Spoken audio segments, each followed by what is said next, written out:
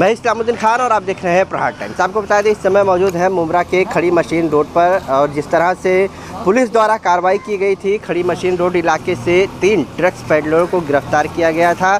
लेकिन आज जो है विरोधी पक्ष नेता अशरफ सानू पठान खड़ी मशीन रोड का जो इलाका आपको बता दें यहाँ पर मनपा से अ, जो है यहाँ पर कार्रवाई कराई गई है जो स्ट्रक्चर है यहाँ पर ये यहाँ पर अ, ठाणे महानगर पालिका ने जेसीबी लगाकर तोड़ दिया है। दरअसल यहाँ के जो रहने वाले लोग हैं उन लोगों की इस तरह की तमाम शिकायतें थी कि जो स्ट्रक्चर यहाँ पर बनाया गया था इसमें मुर्गी बकरियाँ पालने पालते थे यहाँ के कुछ लोग और यहीं पर रात के समय में इन स्ट्रक्चरों में जो है कुछ नशा करने वाले लोग यहाँ पर आकर बैठते थे जिसकी वजह से आप देखेंगे। इस साइड में तो अमन कॉम्प्लेक्स है और मेमन कॉलोनी है, इधर माउंटेन वैली है, और इसके पीछे आज़ाद नगर इलाका है। और इसी रास्ते से होकर यहाँ के रहने वाले लोगों को जाना पड़ता था और ये जो स्ट्रक्चर यहाँ पर बना था, इसमें नशा करने वाले लोग अक्सर बैठता, बैठा करते थे, जिसकी वजह से महिलाएँ, लड़कियाँ या पुरुष को आने जाने में काफ़ी तकलीफ़ों का सामना करना पड़ता था जैसे मोबाइल छिनौती की घटना हो गई या, और मारपीट की घटना हो गई, वार की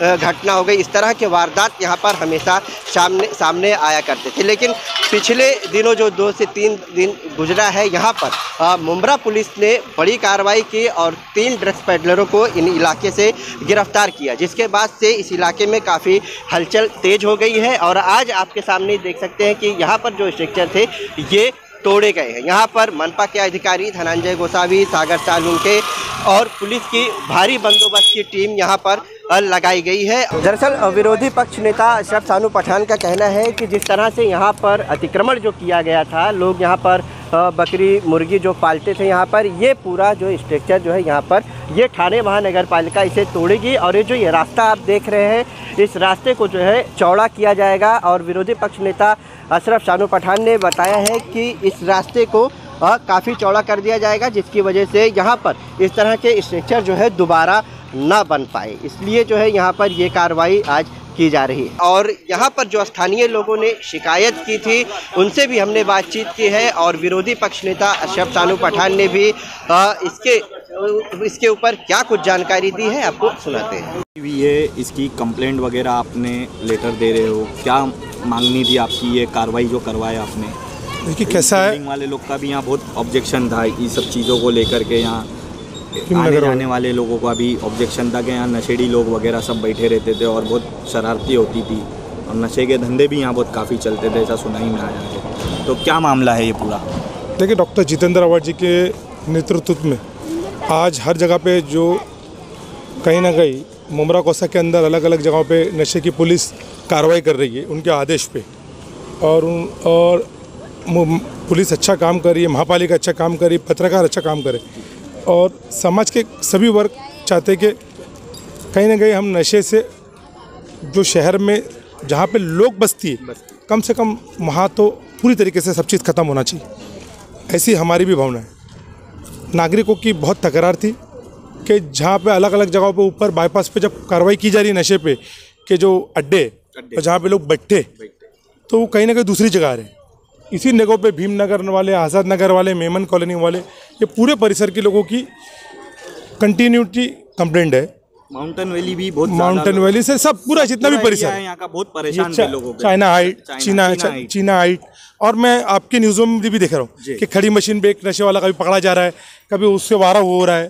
तो जो वार हो रहा है लड़ाई हो रही तो इसका मतलब मेन जो है ये रात में अड्डा बैठने से हो रहा है। हो रहा है। अब ये जब बैठ रहे तो फिर ना इनके घर है तो फिर यहाँ क्यों बैठ रहे?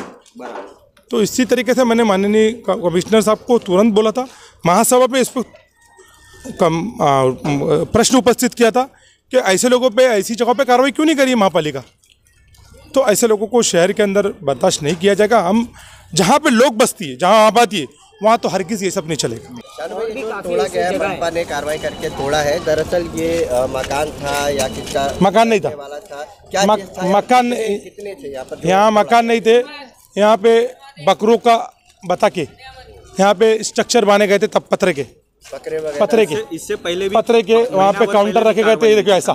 सेम ऐसा दिखा दीजिए। पहले भी कार्रवाई भी थी बहुत हल्की पहले कार्रवाई हुई थी ऊपर हुई लेकिन जब भीमनगर आज़ाद नगर और ये माउंट आबू के ये पूरी परिसर के लोग कंटिन्यू मेरे पास सुबह आके तकरार किए कि हमें कायम अगर यहाँ से हटाना है तो सबसे बेहतर है ये कार्रवाई नहीं करना है। कार्रवाई करके कल से यहाँ पे रास्ता बनने का काम शुरू हो जाएगा। इसको हम जब रास्ता बना देंगे तो दोबारा इधर कोई कुछ बना ही नहीं पाएगा। रास्ता बनाना इंपॉर्टेंट है। अब ये रास्ता रुंदीकरण करके, ये रास्ते को 12 फुट बड़ा कर देंगे।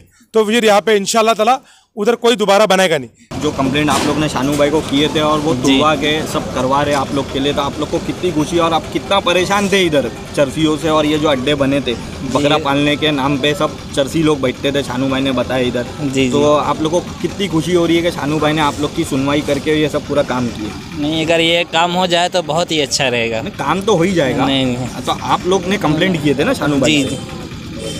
हाँ, तो बिल्डिंग वाले किए थे? जी बिल्डिंग वाले ने किए थे। आने जाने में तकलीफ़ होती है वैसा मामला है। तिल्ला माशाल्लाह हमारे शानू भाई ने बहुत अच्छा काम कर दिया है।